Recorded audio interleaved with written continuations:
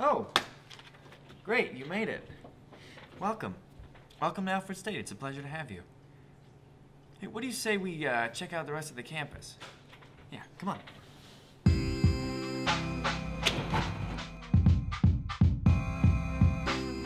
Here we have the Student Leadership Center.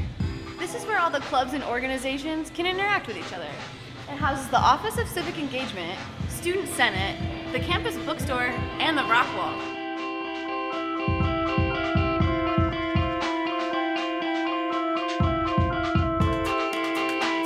So this is the Orvis Activity Center, home of Pioneer Athletics.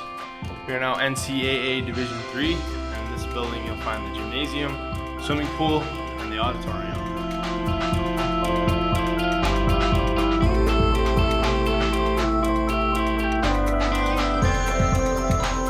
If you're looking for a quiet place to study, check out the library.